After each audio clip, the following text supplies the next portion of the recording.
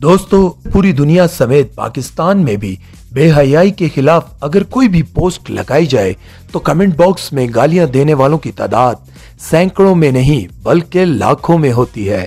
इसी तरह, अगर सोशल मीडिया पर या यूट्यूब पर टॉप ट्रेंडिंग शोज़ देख लें तो वो भी बेहयाई से भरे हुए होते हैं। इससे पता चलता है कि गालियाँ देने वालों की तादाद बहुत ज़्यादा है, लेकिन ऐसा प्रोग्राम देखने वालों की भी तादाद बेहद ज़्यादा है, जिसकी वजह से ये प्रोग्राम टॉप ट्रेंडिंग में आते हैं। इसी तरह आज मैं एक ऐसे प्रोग्राम के बारे में बात करने जा रहा हूँ, जिसका नाम है चैंपियन विद वकार जक्का वकार जक्का का नाम सुनते ही आपके जहन में आया होगा कि अगर इस शो को होस्ट वकार जक्का कर रहे हैं तो यकीनन बहुत ही कंट्रोवर्शियल शो होगा। मैं आपको बता दूँ कि ये शो ना सिर्फ़ कंट्रोवर्शियल है बल्कि बहुत ज़्यादा वाहियात, बेहुदा, इखलाक से गिरा हुआ और हर लिहाज से फहाशी से भरा हुआ है। जहाँ इतनी वाहियात गालियाँ दी जाती हैं कि मैं आपको इस वीडियो में बता भी नहीं सकता। मजीद इस शो के बारे में बात करने से पहले मैं आपको बताता चलूँ कि मेरा नाम है सुमेर और आप देख रहे हैं सभी सुमेर यूट्यूब चैनल।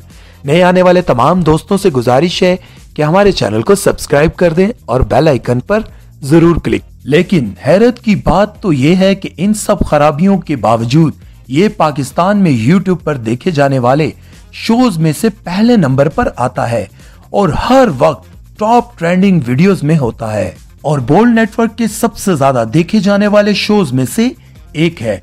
खुसूसन इसकी 18वीं एपिसोड को टीवी पर 15 मिलियन व्यूज़ मिले। इन सब बातों से आखिर क्या ज़ाहिर होता है?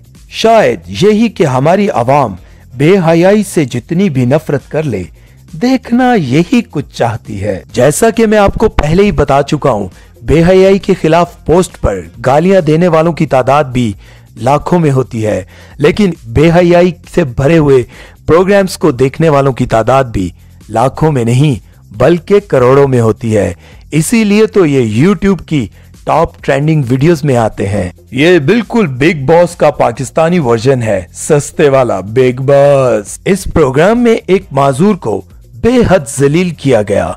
उसके मुड़े हुए हाथों का मज़ाक उड़ाया गया और उसके इन्हीं हाथों की वजह से उसको बहुत सारी गालियों का सामना करना पड़ा। गाली गलोच तो इस शो में आम है और आम गालियाँ नहीं, बल्कि बेहुदा, गंदी और नंगी गालियाँ दी जाती हैं। एक तो मुझे ये बात समझ में नहीं आती कि लोग शोहरत हासिल करने के लिए इस कदर गिर क्यों जाते हैं? इस तरह की हरकतें क्यों करते हैं? दोस्तों, मुझे आप सबकी राय का बेचैनी से इंतज़ार रहेगा। क्या इस तरह के शोज़ को पाकिस्तान में चलने देना चाहिए या बैन कर देना चाहिए? जिस शो में बेहयाई को फरोग दिया जाए या गालियों को आम कर दिया जाए आप अपनी राय कमेंट बॉक्स में मुझे ज़रूर दीजिएगा। अगर आपको मेरा वीडियो अच्छा लगा तो प्लीज़ लाइक शेयर ज़रूर कर दीजिएगा। कमेंट बॉक्स में अपनी राय का इजहार कीजिएगा और मुझे दीजिए इजाज़त। अल्लाह हाफिज।